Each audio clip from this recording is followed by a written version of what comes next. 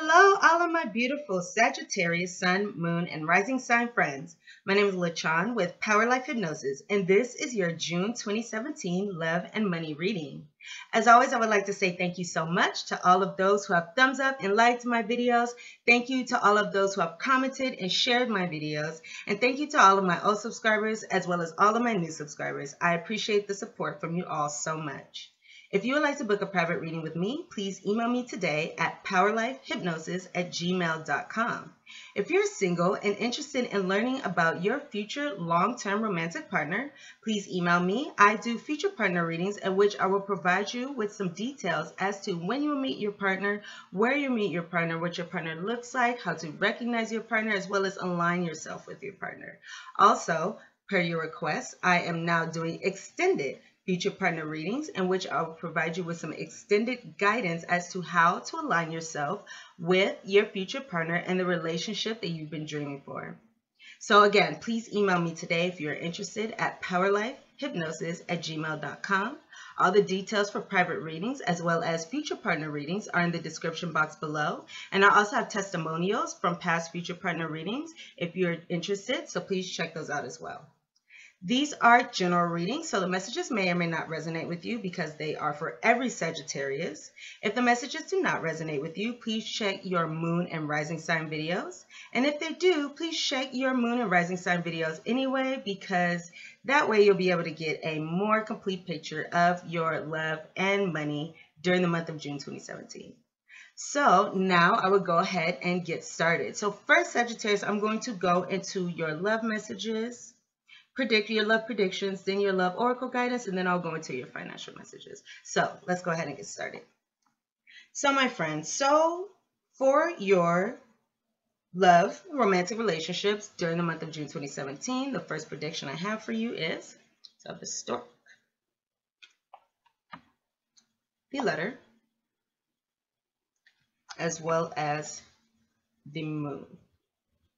So Sagittarius, it looks like during the month of June, many of you are going to be talking to other people or talking to romantic interests via text message, via internet, via typing, written message, because that's what this letter card stands for. It stands for written messages. Um, there can also be some invitations as well. So it looks like some of you will be sending messages back and forth to a romantic interest or a romantic partner. And if it's just a romantic interest, you'll be sending these messages and there'll be a lot of seduction, sensuality, passion going on. But there's a lot of speaking of romance and wonderful things like that going on. Some of you could be talking to someone, sending messages back and forth in a new romance as well. I see that as a big possibility. Some of you will be going on wonderful dates. And this could come through invitation. So for some of you, there may be some invitations going on to where you invite someone over on a date or a new romantic situation.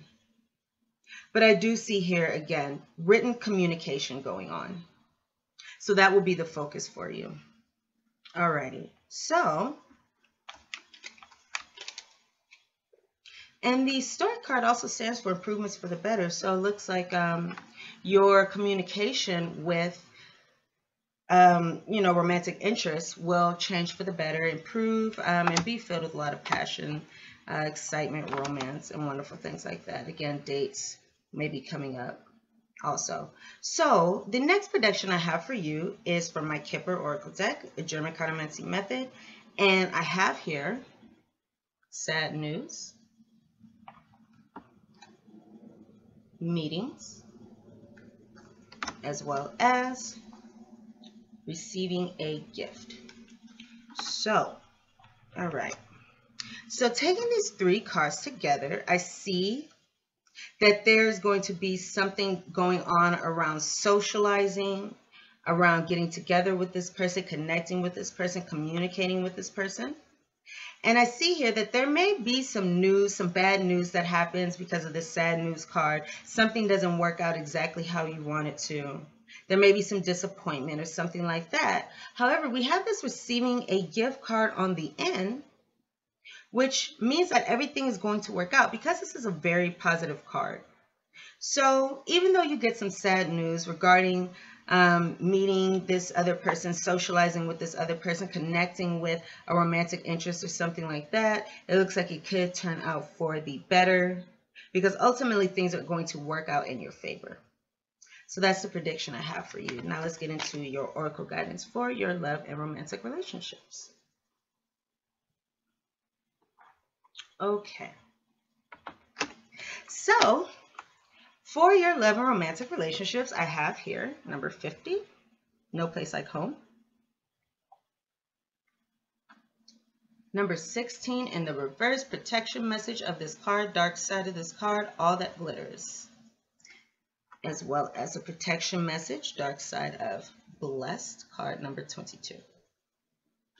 All right, so Taking these three cards together, it looks like during the month of June, you will be feeling at home with yourself, comfortable with yourself. You're in your authentic, comfortable zone. So that's a wonderful, wonderful thing. You're feeling comfortable and safe in your own skin, and you know who you are during the month of June.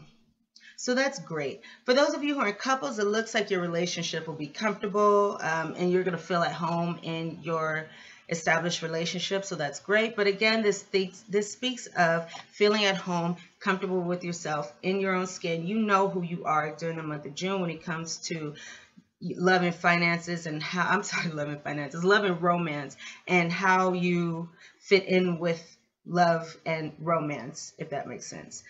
Okay, so the next card that I have here is number 16, All That Glitters.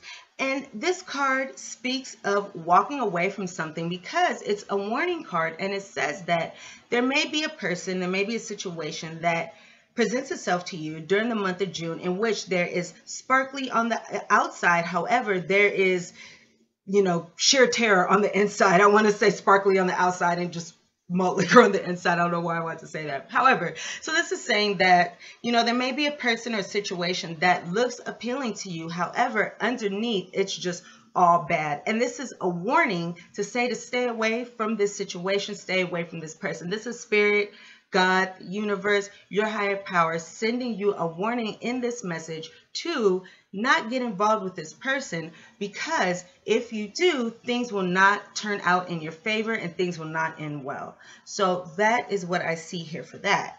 And then we have here the blessed card in the reverse. And this blessed card is saying that during the month of June in your love and romantic relationships, you may have a feeling as though you hit rock bottom However, this situation has nothing to do with you. I feel as though it has some everything um, to do with this person who's in this represented by this all that glitters card. But these are general readings so take this however this resonates with you.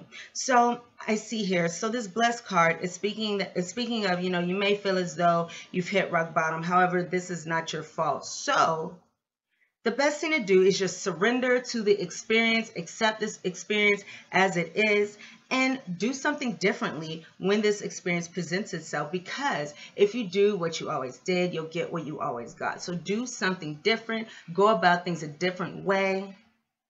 You know, do, do different actions, take a risk.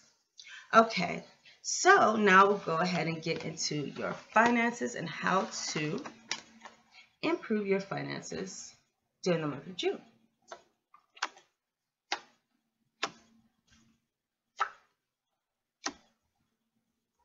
Okay. So, my Sagittarius friends, for the month of June, in order to increase your finances, wealth, abundance, I have here for you. The first card is the Knight of Swords in the upright. Showing money should be good, coming in. Okay, so I have the Ten of Wands. Yes, in the reverse. Excuse me. As well as the Magician, major arcana card in the reverse. So Knight of Swords, Ten of Wands, as well as the Magician card. Ten of Wands in the reverse, Magician in the reverse.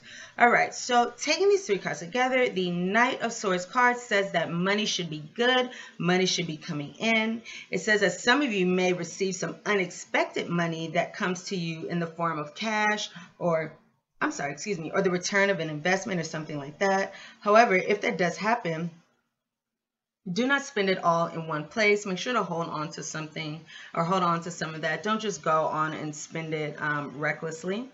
And this 10 of Wands card is again saying don't be too extravagant in your spending, even if the burden, your financial burden is lifting. Because even if money comes in, that does not mean that the best thing to do is just go buck wild and go spending your money. So please keep that in mind. So for those of you who feel like money may not be going well, this is saying not to panic this magician card may be saying you, you may feel as though you're stuck when it comes to your finances. However, money can improve if you make the conscious effort, if you make the effort in order to make more money. Because the, the magician card stands for having all the elements and being able to work things out in your favor, manifest things in your favor, put things together so they work out for you. So in the reverse, this is saying that things can get better and things can work out for you if you put effort into finances and improving your finances. For example, thinking about new ways to make money and increase your finances. And that will be a wonderful venture for you during the month of June because it is likely that this venture will pay off more than you expected. So please go into that.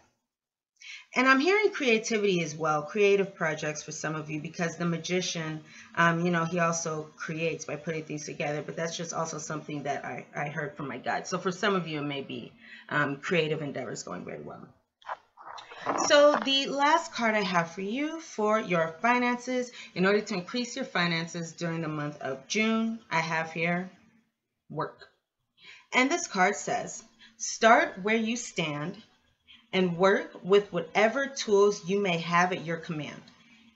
And better tools will be found as you go along. So this is saying to start where you are when it comes to making money, if it comes to projects and things like that. Start where you are and use what you have. You know, if you're a small, you know, if you're just starting out, for example, small business or something like that, you're just starting out, start with what you have as opposed to just investing all of your money all at once into something because you will have better tools. You'll be able to gain more tools for your work as you go along, as you gain more success. So those are the messages that I have for you, my wonderful Sagittarius friends. Thank you so much for listening to this reading, for watching this video. Please thumbs up and like this video if the messages resonate with you. If you'd like to book a private reading with me, please email me today at powerlifehypnosis at gmail.com. And if you're interested in learning about your future long-term romantic partner, email me today, powerlifehypnosis at gmail.com. Thank you so much, my wonderful, wonderful Sagittarius friends. And I look forward to seeing you all here again very, very soon. Bye, everyone.